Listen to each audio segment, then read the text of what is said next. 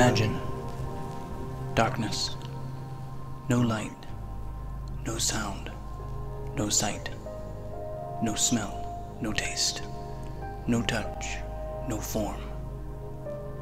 Emptiness, the void. The source of the uncreated. Then suddenly a sound rang, loud and thunderous. This primal sound reverberates throughout the dimensions. A vast construct appears.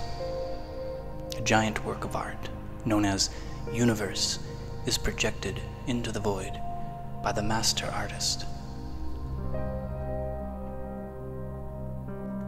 This master creator artist explores self in all of its vast forms and dimensions through the medium of universe.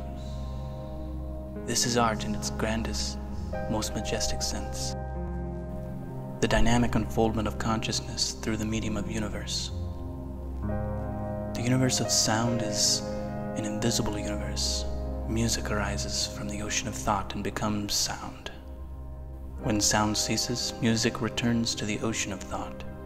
Sound is the invisible determinant that can only be perceived as auditory vibrations giving texture to the imaginal realm.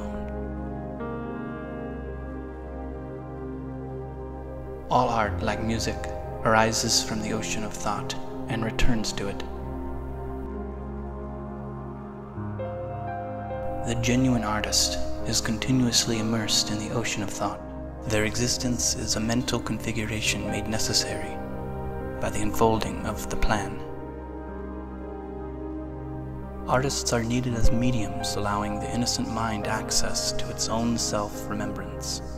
It is through self-remembrance that you realize your role in the plan, and you become a player in the quest for higher reality.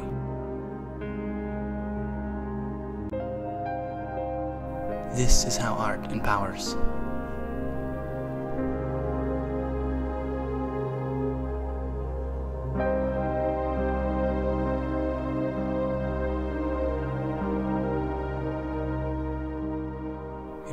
Realize a fully conscious synthesis of ourselves with the environment and create the total possibility of the planetary art whole, we have to first understand what we are in the evolutionary continuum. We are the organic living matter that has attained intelligence. And this intelligence is a function of a universal medium known as consciousness.